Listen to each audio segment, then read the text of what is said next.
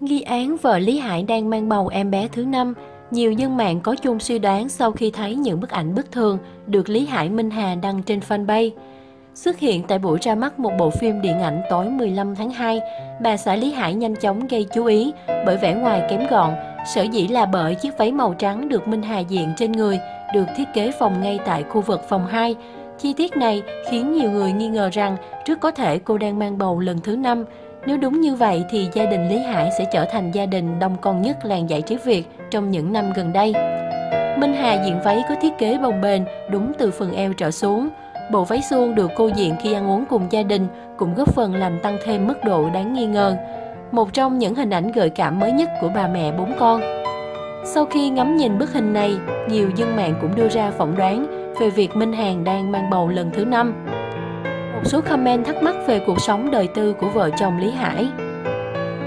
Minh Hà lần hai đáp trả câu hỏi của cư dân mạng bằng một bức ảnh nhưng cũng không nói gì thêm.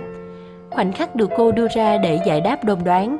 Ngoài ra, một chi tiết khác cũng khiến nhiều người xem quan tâm, đó chính là câu nói của Minh Hà khi tiếp tục bị dân mạng vào fanpage để chọc ngoáy chuyện cô là cái máy đẻ người.